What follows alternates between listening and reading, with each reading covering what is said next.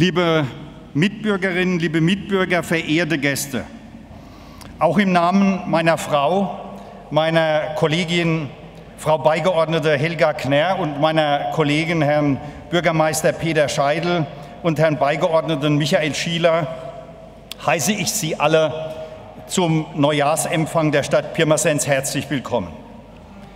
Stellvertretend für jeden Einzelnen von Ihnen begrüße ich heute Abend die Ehrenbürgerin unserer Stadt, Frau Dr. Sieghild Müller, die in diesem Jahr ihren 98. Geburtstag feiern wird.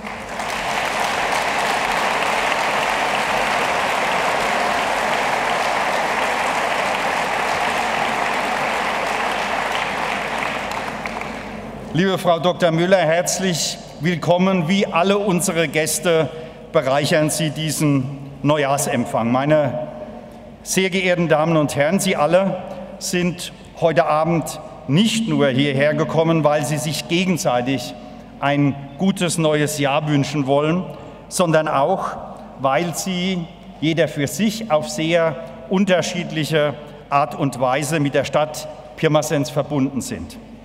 Für viele von Ihnen ist dies nicht nur eine berufliche, eine professionelle Verbundenheit, sondern sie fühlen sich auch, jeder nach seiner Fasson, für die Belange unserer Stadt verantwortlich. Nicht wenige von ihnen nehmen diese Verantwortung im Verborgenen wahr. Eine Stadtgesellschaft, mehr noch die Gesellschaft eines ganzen Landes, wächst und gedeiht, steht und fällt damit, wie viele Menschen sich für sie mitverantwortlich fühlen. Die Physikerin und Chemikerin Marie Curie, die 1903 den Nobelpreis für Physik und 1911 den Nobelpreis für Chemie erhielt, hat es einmal wie folgt ausgedrückt.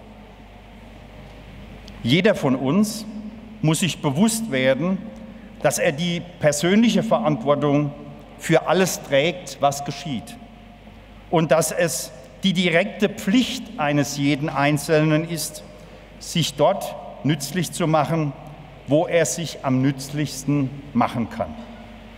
Dass es heute in weiten Teilen unserer Gesellschaft nicht en vogue ist, außerhalb der ganz individuellen und persönlichen Sphäre Verantwortung im Sinne aktiven, anderen nützlichen Verhaltens zu übernehmen, hat sicher damit zu tun, dass eigennütziges Verhalten niemals so hoch im Kurs stand wie heute, quasi gesellschaftsfähiger ist denn je.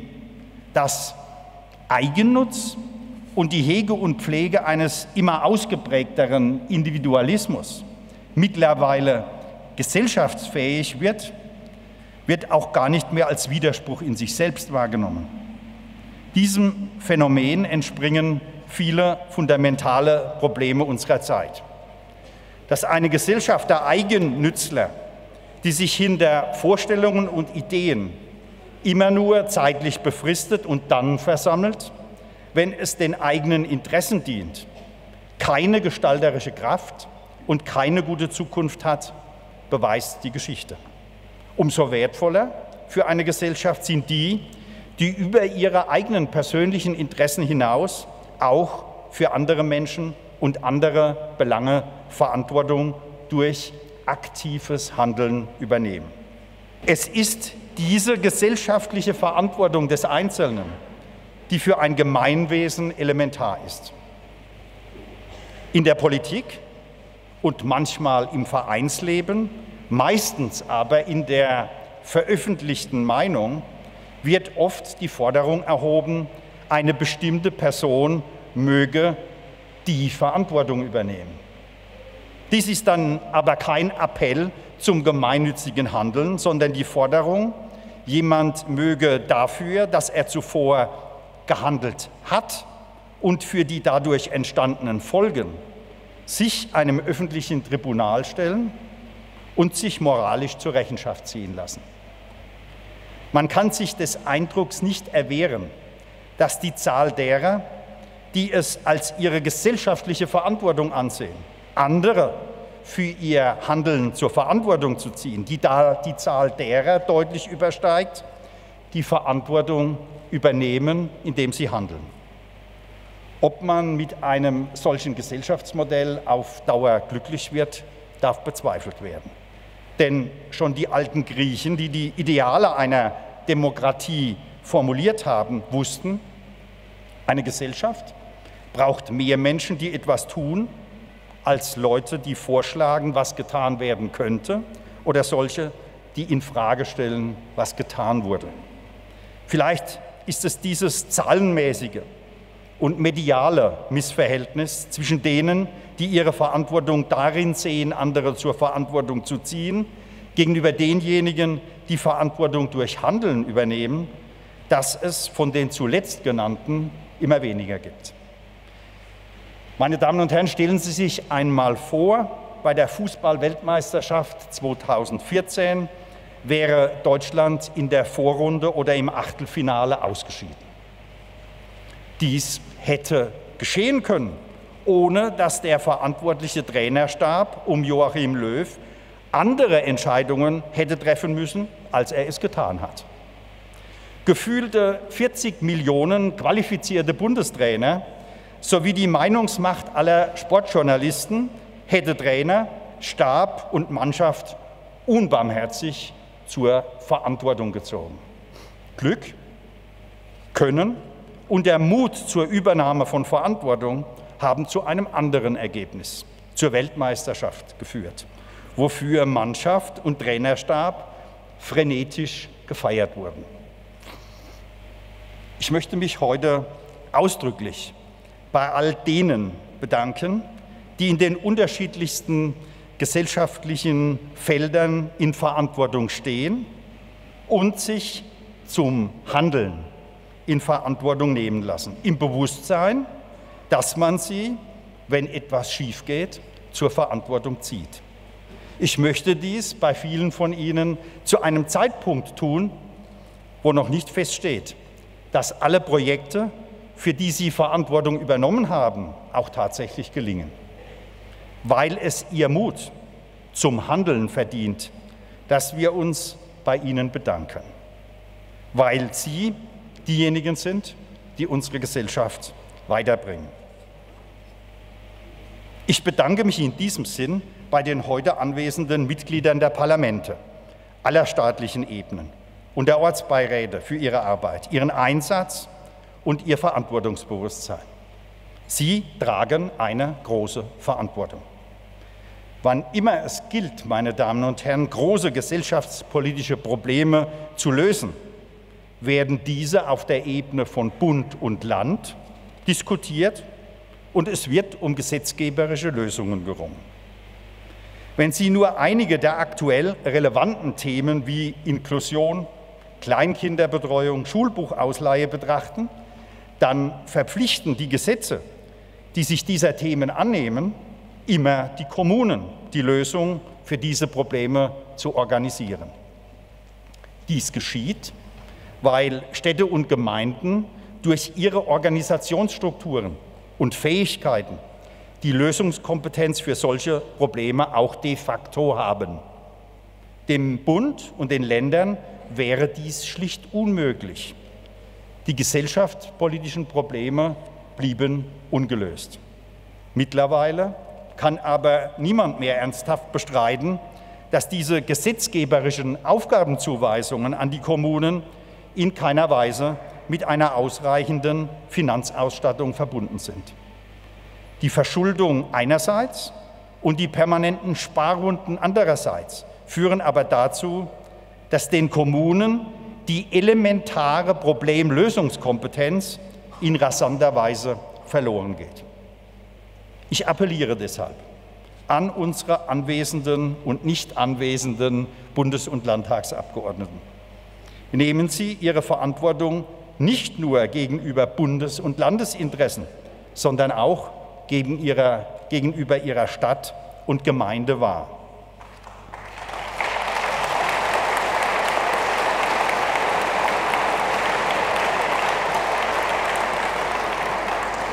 Und jetzt wird es konkret. Wenn Ihnen die nächste Gesetzesvorlage zugeleitet wird, in der wieder Aufgaben auf die kommunale Ebene übertragen werden, fragen Sie kritisch nach, ob das Gesetz, das Sie beschließen sollen, den Kommunen auch die dafür erforderliche Finanzausstattung zuweist. Und wenn es in der Kostenfolgeabschätzung der Gesetzesvorlage heißt, Kostenfolgen keine, sollten Sie nicht nur auf den Beipackzettel vertrauen, sondern hellhörig werden und den Oberbürgermeister Ihres Vertrauens um Rat bitten.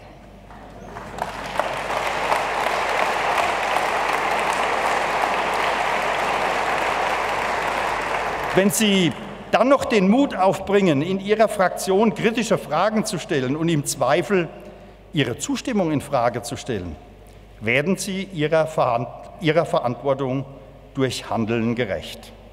Ansonsten treiben Sie die Kommunen in Verfassungsstreitverfahren, die niemand wirklich wollen kann. Ich bedanke mich an dieser Stelle auch bei den Vertreterinnen und Vertretern der Kirchen und Sozialverbände und bei deren Mitarbeitern dafür, dass sie sich im Bereich der sozialen Arbeit in vielfältiger Weise engagieren und Verantwortung übernommen haben.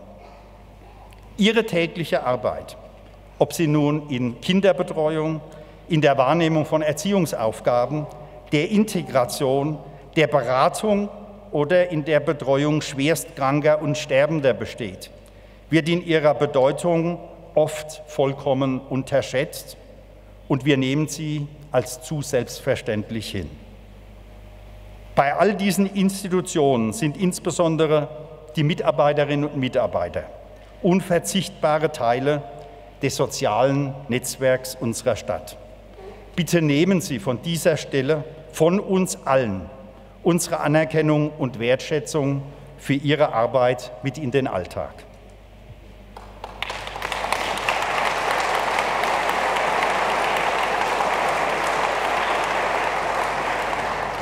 Ich bedanke mich bei vielen heute anwesenden Unternehmern, aber zugleich bei den Vertretern der Betriebsräte und Gewerkschaften dafür, dass sie in Umbruchzeiten unserer Stadt in überzeugender Weise Verantwortung für unseren Wirtschaftsstandort und damit für nunmehr fast 20.000 Arbeitsplätze übernommen haben. Die aktuelle außerordentlich positive wirtschaftliche Entwicklung unserer Stadt erweist sich nicht nur in einem Rekordergebnis der Gewerbesteuer, sondern auch in Erweiterungsinvestitionen von Pirmasenser Unternehmen, die in der Summe in den letzten zehn Jahren sicher die 250 Millionen Grenze überschritten haben. Dies, meine Damen und Herren, war nur durch ein gutes Miteinander der Unternehmen und Arbeitnehmer, durch mutige Unternehmer und durch engagierte Mitarbeiter möglich. Es gibt nicht wenige Menschen, die trotz all dieser positiven Signale unserer Stadt sehr skeptisch in die Zukunft blicken.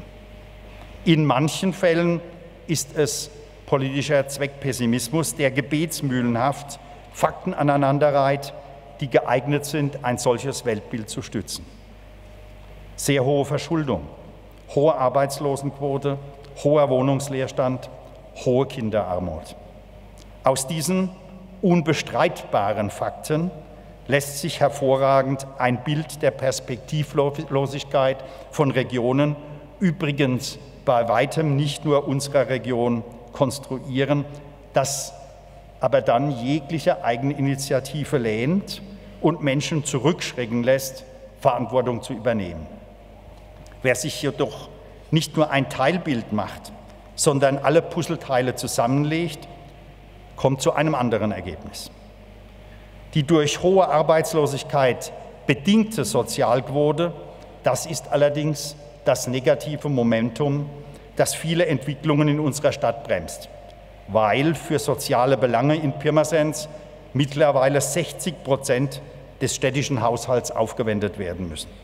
Dabei nicht eingerechnet sind die enormen finanziellen Aufwendungen, die Kirchen, Verbände, gemeinnützige Einrichtungen und ehrenamtliche Initiativen zusätzlich für Soziales aufbringen. Die meisten Initiativen verfolgen das Ziel einer sozialen Integration durch Bildung und Ausbildung, insbesondere junger Menschen. Und ich bin der festen Auffassung, dass die oft langfristig angelegten Projekte, die wir in Betrieben, Schulen, Kindergärten, Lern- und Spielstuben, bei kirchlichen und privaten Trägern erleben, elementar und wichtig sind, weil sie eben langfristig auf nachhaltige Erfolge angelegt sind. Deshalb danke ich an dieser Stelle denen, die sich hier in herausragender Weise engagieren. Sie sind ebenfalls wichtige Pfeiler unseres sozialen Netzwerks. So sehr uns diese Kernproblematik, die sozialen Probleme unserer Stadt sorgen müssen, so sehr kann es uns auf der anderen Seite aber zuversichtlich stimmen, wie viele Menschen in Pirmasens bereit sind, sich hier für eine Veränderung persönlich einzubringen. Meine Damen und Herren, ich will in diesem Zusammenhang aber bewusst einen Gedanken besonders hervorheben. Wenn es richtig ist, dass eine Kernherausforderung unserer Stadt die soziale Problematik ist, weil sie über viele finanzielle Hilfeleistungen nicht nur den städtischen Haushalt dramatisch beeinflusst, sondern viele Kräfte unserer Stadtgesellschaft bindet, kann eine erfolgreiche Gegenstrategie nur in einem Angebot für Hilfe zur Selbsthilfe bestehen. Aber ich bin der festen Überzeugung und spreche dies auch hier ganz klar aus, dass solche Hilfen darauf angelegt sein müssen, dass die Hilfsbedürftigen und Empfänger dieser Hilfen nicht nur mehr und mehr befähigt werden müssen, ihr Leben wieder in die eigene Hand zu nehmen, sondern dass es auch die Forderung bei jeder Hilfeleistung sein muss, diese zu nutzen, um mehr und mehr Eigenverantwortung zu übernehmen. Es ist nämlich keine schicksalhafte Entwicklung, wenn junge Leute, die in Hartz-IV-Bezug sind, zum zweiten oder dritten Mal Privatinsolvenz anmelden, weil sie Ratenzahlungsverträge für tausende Euro für Smartphones, Großbildfernseher und Kleidung abgeschlossen haben, die sie nicht bezahlen können. Es ist nicht schicksalhaft, wenn junge Eltern ihre Kinder zu Kindergarten- und Schulzeiten morgens sich selbst überlassen und mit Bußgeldbescheiden darauf hingewiesen werden müssen, ihre Kinder dazu zu veranlassen, in die Schule zu gehen. Es ist nicht schicksalhaft, wenn mit erheblichem Aufwand eine betriebliche Grundqualifizierung durch die Jobbörse angeboten wird und Menschen, die dann ein Arbeitsplatzangebot erhalten, wiederholt nach kurzer Zeit wieder ausscheiden. In den meisten Fällen gibt nicht das Schicksal, sondern die persönliche Entscheidung, etwas zu tun oder zu unterlassen, hier den Ausschlag. Dies alles, meine Damen und Herren, sind keine exotischen, zugespitzten Einzelfälle, sondern tägliche Erfahrung von Erziehern, Lehrern, Sozialarbeitern und unseren Schuldnerberatern. Wahrscheinlich ist es politisch im höchsten Maße unkorrekt, dies heute Abend so auszusprechen. Denn leben wir doch in einem Sozial- und Wohlfahrtsstaat, leben wir doch in einem Sozial- und Wohlfahrtsstaat, in dem die Aufgaben klar verteilt sind. Bei jedweden gesellschaftlichen und sozialen Problemen, die sich nicht binnen kurzer Zeit selbst lösen, ist es der Staat, der sich zuschreibt, die Lösung ganz alleine zu organisieren. Dies hat allerdings offenbar eine Kehrseite, die der Medienwissenschaftler Norbert Bolz wie folgt beschreibt. Ich zitiere. Die Ausweitung des Wohlfahrtsstaates untergräbt auch die Eigeninitiative und das Verantwortungsgefühl. Seit jeder Einzelne in der Gesellschaft Gegenstand permanenter öffentlicher Sorge geworden ist, dringt der Staat immer tiefer in die Privatsphäre vor. Ende des Diktats. Des Zitats. Ich habe in den letzten Monaten Dutzende Gespräche mit in Sozialinitiativen engagierten Menschen, mit Erziehern, Sozialarbeitern und Lehrern zu diesem Thema geführt. Dabei ging es insbesondere um unsere großen Anstrengungen, Kindern und Jugendlichen aus einem sozial problematischen Umfeld durch gezielte und intensive Hilfsangebote neue Perspektiven für Bildung, Ausbildung und gesellschaftliche Integration zu geben. Viele Angebote entfalten nach Meinung dieser Fachleute nur eine Teilwirkung, weil sie nicht von der Familie, den Eltern flankiert werden. Um die Balance zwischen öffentlicher und gesellschaftlicher Fürsorge einerseits und familiärer Eigenverantwortung andererseits zu erreichen, müssen unsere verschiedenen Initiativen noch viel mehr mit der städtischen Ebene kooperieren und sich individuell abstimmen. Und alle zusammen müssen aktiver werden, diese Eigenverantwortung, wo sie noch fehlt, als Preis für das Engagement von Staat und Zivilgesellschaft auch offensiv einfordern. Die Übernahme von Eigenverantwortung betrifft aber nicht nur den Bereich sozialer Fürsorge, sondern alle Bereiche des städtischen Lebens. Es ist nicht schicksalhaft, Unrat oder Hinterlassenschaften des Hundes in Parks, öffentlichen Anlagen oder auf Bürgersteigen zu hinterlassen und zugleich mangelnde Sauberkeit in der Stadt zu beklagen. Es ist nicht schicksalhaft, das eigene Haus oder die eigenen Mietwohnungen vergammeln zu lassen und zugleich das Stadtbild und den Wohnungsleerstand in Pirmasens zu bemängeln, um hier nur zwei Beispiele zu nennen. Nein, jeder selbst kann sich dafür entscheiden, hier eine Veränderung in seinem Umfeld zu erzeugen. Einige tun dies schon, indem sie in ihrem Umfeld auf Sauberkeit achten, sogar Grünflächenpatenschaften übernehmen oder als Unternehmer im erheblichen Umfang in Gebäude oder Mietwohnungen investieren. Ich habe, meine Damen und Herren, in den letzten Wochen mehrere Strategiegespräche mit Geschäftsführern von Mietwohnungsunternehmen geführt, die in den letzten Jahren mehrere hundert Mietwohnungen in Pirmasens erworben und innen und außen mit Millioneninvestitionen saniert haben. Sie haben mir von einer Vollvermietung bei Mieten im unteren und mittleren Preissegment und davon berichtet, nach einer neuen Unternehmensstrategie in Pirmasens weitere Mehrfamilienhäuser erwerben und in ähnlicher Weise sanieren zu wollen, weil sie vom Standort überzeugt sind. Ich habe mit weiteren potenziellen externen Investoren gesprochen, die nach einer Standortanalyse ebenfalls zu Investitionen in Pirmasens bereit sind. Die einen sprechen aus einer nunmehr jahrelangen Erfahrung die anderen aufgrund vorausgegangener Analysen dem Standort Pirmasens positive Aussichten zu. Unsere eigene Strategie, heimische Unternehmen bestmöglich zu unterstützen und auswärtigen Investoren die Entscheidung für den Standort Pirmasens zu erleichtern, hat im Jahr 2014 dazu geführt, dass Pirmasens auf der Grundlage einer breit angelegten Umfrage bei Unternehmen zur mittelstandsfreundlichsten Stadt in Rheinland-Pfalz gekürt worden ist. Wenn Sie die Bildpräsentationen, die im Hintergrund laufen, aufmerksam beobachten, dann werden Sie feststellen, wie sich unser Stadtbild durch die vielen, teils privaten, teils öffentlichen, teils gemeinsam privat und öffentlichen Investitionen und Joint Ventures verändert und sich die Qualität der Angebote auf unterschiedlichsten Sektoren verbessert hat. Und, meine Damen und Herren, ganz aktuell, lieber Wilhelm Matthijs, vor uns steht die große Aufgabe, die durch einen weiteren Abzug der US Army frei werdenden Flächen auf der Huster Höhe mit neuen Konversionskonzepten genauso erfolgreich zu nutzen wie die Ende 2000 frei gewordenen Grundstücke. Denn wir haben mittlerweile wieder einen erheblichen Bedarf, neue Gewerbeflächen auszuweisen und bereiten deshalb einen weiteren Masterplan für die Husterhöhe vor, der in Abstimmung mit unseren Nachbarn auch die Flächen des Grünbühl einbezieht.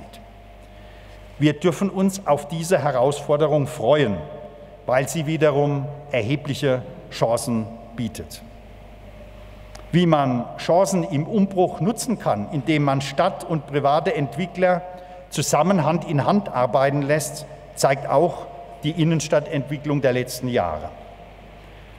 Es erscheint uns, meine Damen und Herren, fast schon selbstverständlich, dass wir im Bahnhof, der noch vor einigen Jahren vollkommen heruntergekommen war, eine französische Bäckerei und eine hochkarätige Sportsbar vorfinden.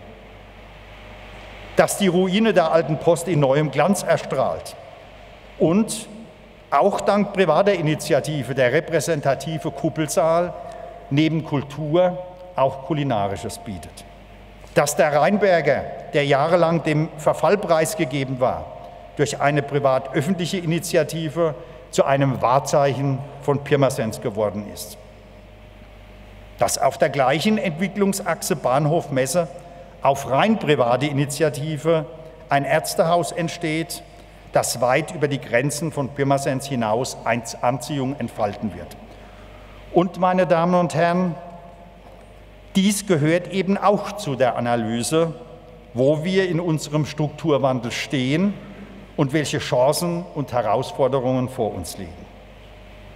Lassen Sie mich aus aktuellem Anlass zum Schluss noch ein Thema ansprechen, das sehr viel mit persönlicher, gesellschaftlicher und politischer Verantwortung zu tun hat.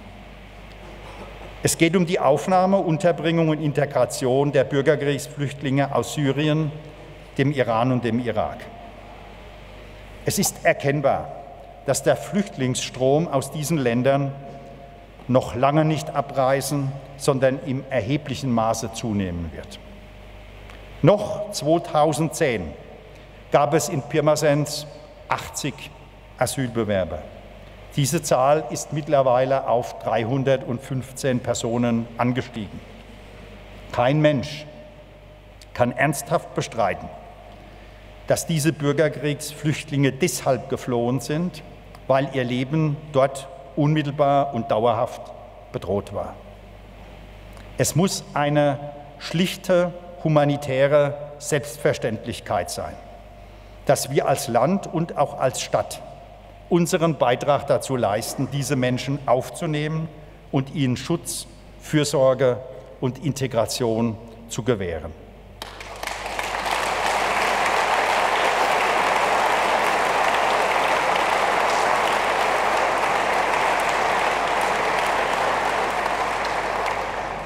Nach den bisher gemachten Erfahrungen in Pirmasens sind speziell die Menschen aus diesen Kriegsgebieten für ihre Aufnahme außerordentlich dankbar und sehr integrationsbereit.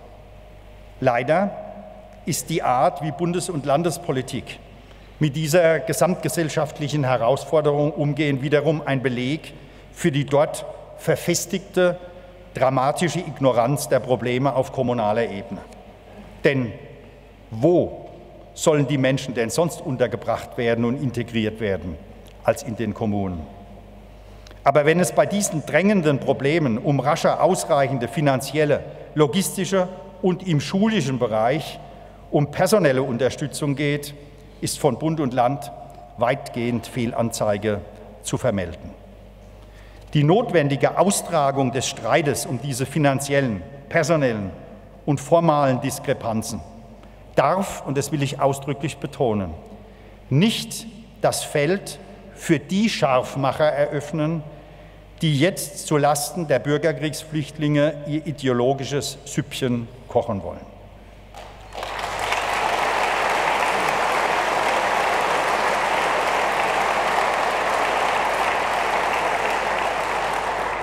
Da ist mittlerweile wieder scheinheilig von reinen Wirtschaftsflüchtlingen, von einer Überforderung des Systems, von einer Überfremdung, von einer Islamisierung, von einer Benachteiligung der eigenen Bürgerinnen und Bürger die Rede.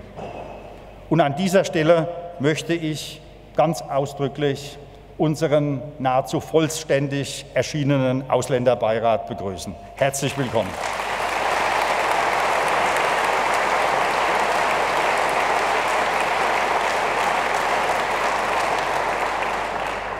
Wir müssen befürchten, meine Damen und Herren, dass auch der verheerende Terroranschlag in Paris von einigen Scharfmachern zur Hetze missbraucht wird. Dies verkennt, dass auch Muslime Opfer von militanten Islamisten sind. Dabei wird nicht differenziert zwischen den Hunderttausenden in Deutschland vollständig integrierten Muslimen, die sich nach einer aktuellen Studie der Bertelsmann Stiftung umfassend mit den Werten unseres Grundgesetzes identifizieren und andererseits den radikalen Extremisten, von denen es nur eine geringe Zahl gibt. Das ist fatal.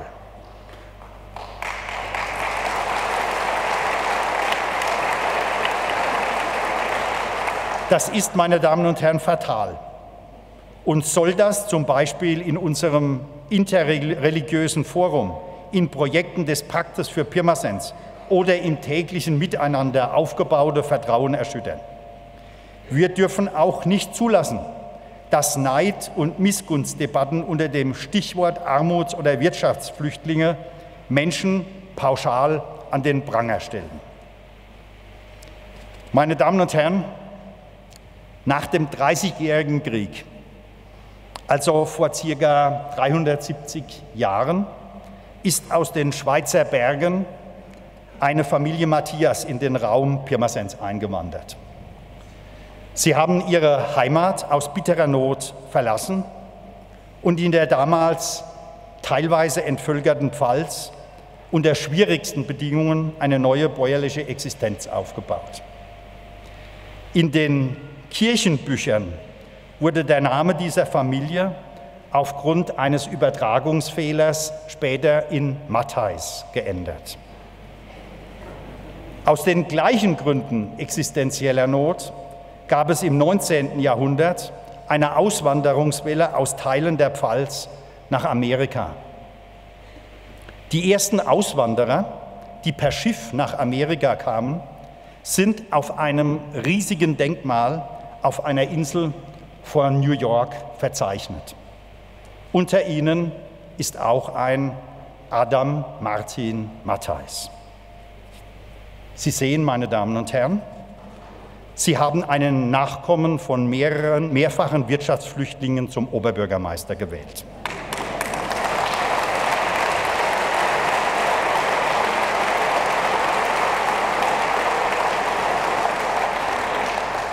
Muss sie das eigentlich angesichts dessen, was uns allen von solchen Wirtschaftsflüchtlingen angeblich droht, nicht sehr bedenklich stimmen?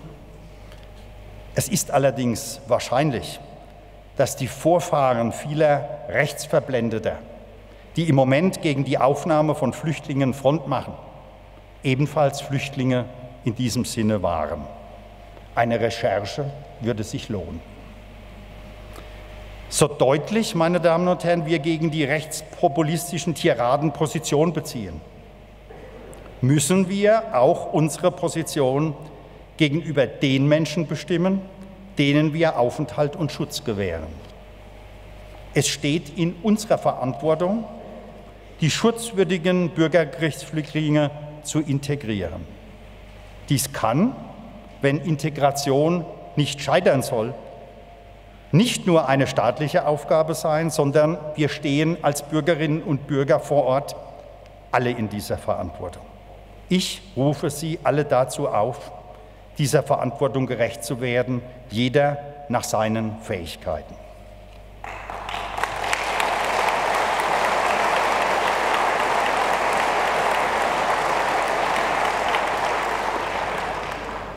Aber zu einer erfolgreichen Integration gehört natürlich auch der Wille, sich zu integrieren. Und das bedeutet, die elementaren Grundregeln des Zusammenlebens der Gesellschaft zu akzeptieren, die mich als Flüchtling aufzunehmen bereit war. In jeder Einbürgerungsveranstaltung, von denen im Jahr etwa vier mit jeweils 20 bis 30 Einbürgerungswilligen aus allen Nationalitäten stattfinden, weise ich darauf hin, dass die großartigen Bürger- und Menschenrechte, die in unserem Grundgesetz Menschenwürde, Toleranz, Gleichheit, körperliche Unversehrtheit, Religionsfreiheit und vieles mehr schützen, mit der Pflicht jedes Bürgers unseres Landes korrespondieren, nicht nur diese Rechte für sich in Anspruch zu nehmen, sondern selbst dafür einzutreten. Und, meine Damen und Herren, ein solch zentrales Grundrecht ist auch das Recht auf Meinungs- und Pressefreiheit, das es gegen Einschüchterung und Gewalt, notfalls mit staatlicher Gewalt zu verteidigen gilt.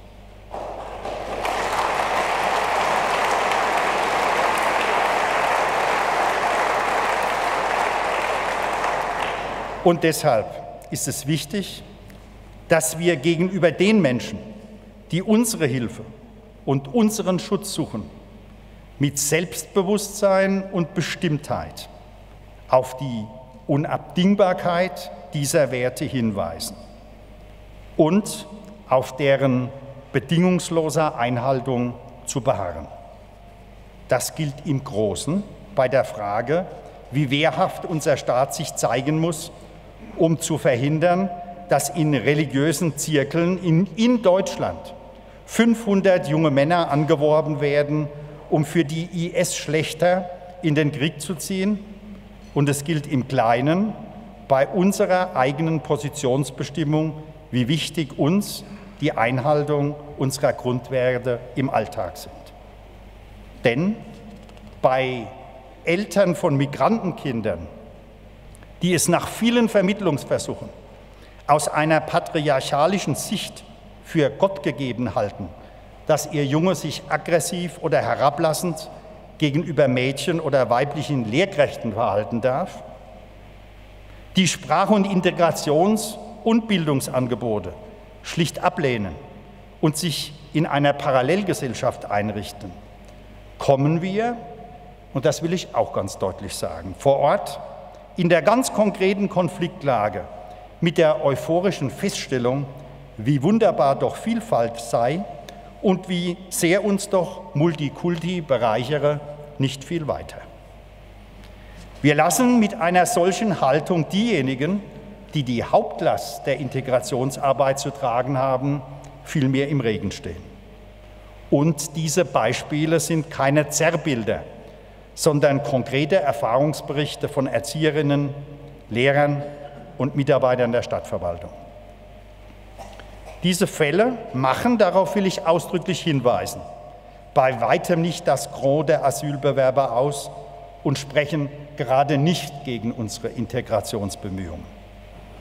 Aber wenn die Integration von Flüchtlingen in Deutschland die Akzeptanz der Menschen finden soll, und nur dann wird sie gelingen, dann muss auch diese Position zweifelsfrei geklärt sein. Nicht nur die Würde des Menschen, sondern auch alle sonstigen Grund- und Bürgerrechte sind in unserem Land für alle unantastbar. Und deshalb, meine Damen und Herren, tragen heute Abend die Mitglieder des Stadtvorstandes, ich hoffe stellvertretend für Sie alle, das Bekenntnis, das derzeit unsere französischen Nachbarn eint. Je suis Charlie.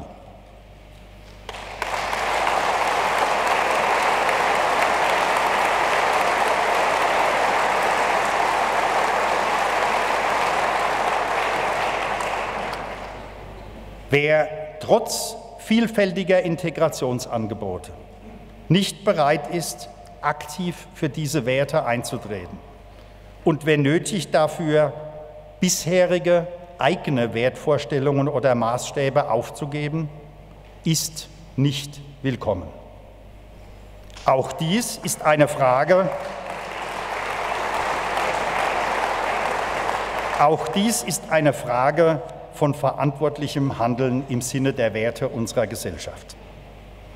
Meine Damen und Herren, in der Balance von staatlicher und bürgerschaftlicher Verantwortung einerseits und Eigenverantwortung des Einzelnen andererseits wird, davon bin ich überzeugt, auch die große Aufgabe der sozialen Integration und der Integration von Migranten gelingen.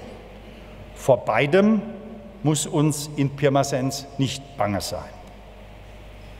Liebe Gäste des Neujahrsempfangs, ein gewisser Angelo Giuseppe Roncalli hat das Spannungsfeld zwischen gesellschaftlicher Verantwortung und Eigenverantwortung einmal mit folgendem Kernsatz zusammengefasst. Ich zitiere.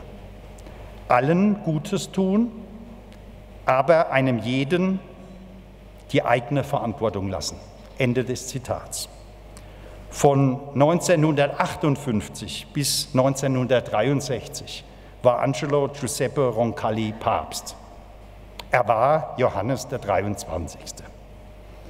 Ist sein Appell, meine Damen und Herren, nicht ein guter Vorsatz für das Jahr 2015? Ich wünsche Ihnen ein gesegnetes, erfolgreiches Jahr 2015 in Gesundheit und Wohlergehen und bedanke mich, dass Sie mir so geduldig zugehört haben. Dankeschön.